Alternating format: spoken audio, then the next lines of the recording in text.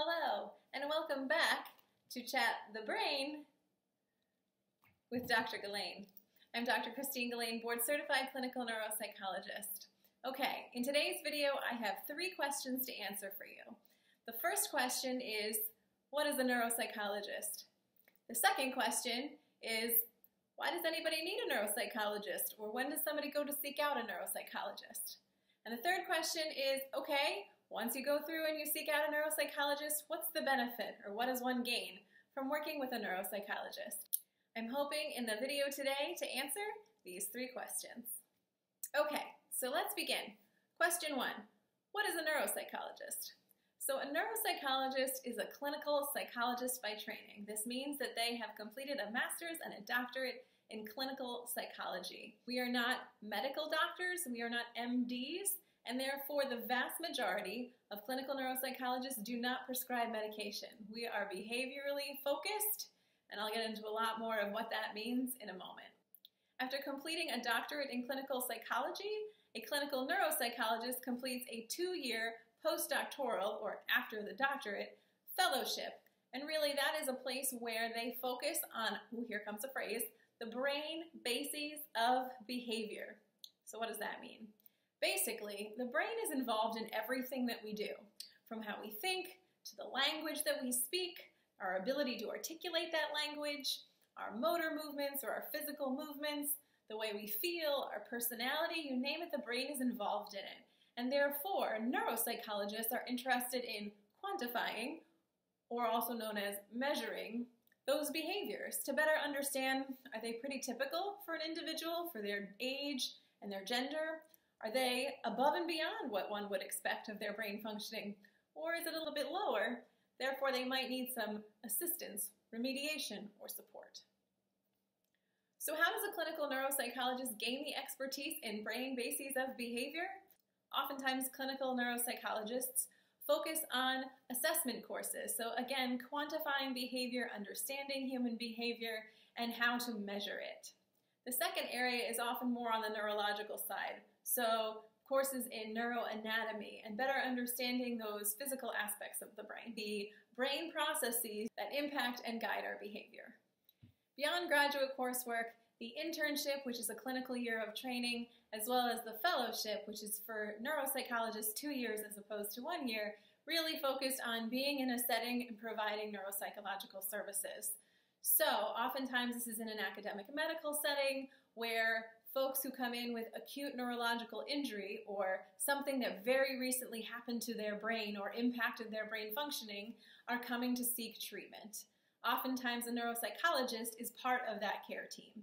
The one other point that I'll make here in talking about neuropsychologists and their areas of expertise is if and when you are looking for a neuropsychologist, it is extremely important to think about finding someone who is board certified in clinical neuropsychology. I will have an entire video on why that's important, what that all means, what's the process of being board certified, why does that make that individual any more knowledgeable than another.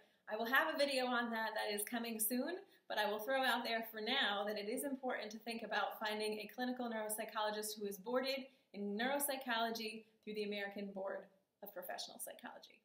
So, question number two, why does somebody need a neuropsychologist or what are the reasons that someone would seek out neuropsychological services? When I think about that, I think about three main categories of people that often seek neuropsychological evaluations. The first one is more information that I alluded to earlier, those who have had an acute neurological insult. All that means is recently they sustained some sort of trauma to their brain or something has impacted their brain and now they are functioning differently. Or they want to make sure and better understand how they're functioning differently. Those types of cases are somebody who just recently had a stroke or somebody who might have been hit in the head or got a traumatic brain injury or somebody who might have had a surgical resection, somebody who had a brain tumor removed. How do these changes to the brain impact day-to-day functioning? A neuropsychologist would be able to measure that and provide information as well as support in terms of what are the next steps. The second group of people that I think about when I think about those who might seek out a neuropsychological evaluation are those who have a developmental condition that has impacted the way that their brain has grown and matured over time. So, for example, someone who is born premature, let's say at 30 weeks gestation, they're born with a whole variety of differences because they weren't quite cooked um, to 40 weeks. That said, they're living wonderful lives and they're thriving beautifully, but maybe there are some areas, and we certainly know that being born early impacts the way that the brain develops over time. So, if there are areas of difficulty or there are things that families notice as a child who's born premature grows and develops, a neuropsychologist can come in and say, here's our understanding of why is this impacting, is this consistent with what we would expect, first of all? Why is this impacting this child, and how can we support this child and help them succeed. Another frequent diagnosis that often comes through our office is potentially for concerns for an autism spectrum diagnosis. So, individuals who might, you know, families who might notice that their child is limited in their eye contact or has difficulties with social interaction and social reciprocation. You know, these individuals might come seek a neuropsychologist to do a comprehensive evaluation to better understand does my child have an autism spectrum disorder where on this spectrum do they fall, and how can I best support them going forward? The third and final category that kind of comes to mind when I think about the types of patients that I see are those who have realized they are struggling. They're struggling in certain areas, or something has come up that they are having difficulty with their day to day life. So, on a child perspective, I think about kids who have difficulties focusing and paying attention. The parents often bring their child in and say, He's, he's driven by a motor. He can't stop. He doesn't sit still. How do I get him to sit and focus? You know, homework is a nightmare. We have such difficulties getting through things. Um, he can't complete a task. Okay? So, oftentimes, that is a common thing that we see. We do a complete neuropsychological evaluation. We understand whether or not this child has an ADHD or attention deficit hyperactivity diagnosis, and then we plan supports. What can we do to get this child you know to their best potential and succeeding in all the ways that we know that they can succeed? On the other end of that spectrum i think about individuals who might be coming in with concerns for you know their memory or maybe they're concerned that they might have dementia or maybe their mother or father had alzheimer's and they're noticing that they're starting to forget things certainly this is an area where a neuropsychologist can complete an evaluation to better understand is your memory functioning or your abilities, are they where we would expect? Are they a little bit above or below? And if they are a little bit below, how can we support you going forward? You know, oftentimes those are folks who do benefit from an early evaluation to better understand what's going on.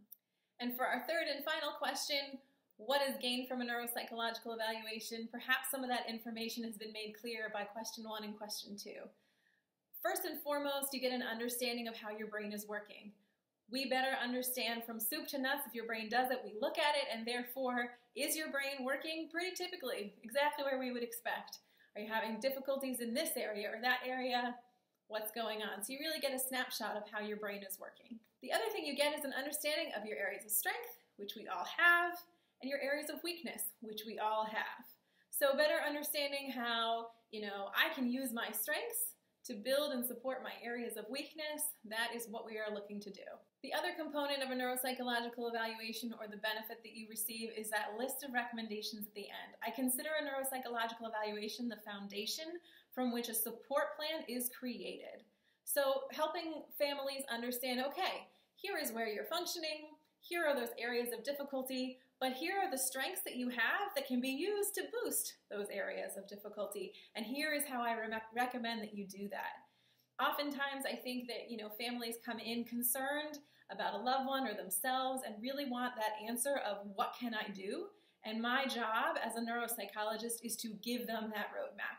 This is what you're doing. This is what we're looking at. Um, and it's a really rewarding component of the job that um, I certainly very much enjoy.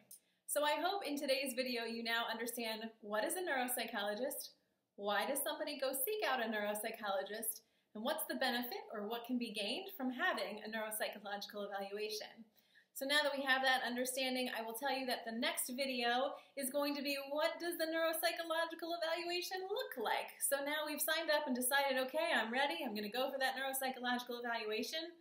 What does that mean? What does that look like? And what can I expect? Stay tuned because that question will be answered in my next video.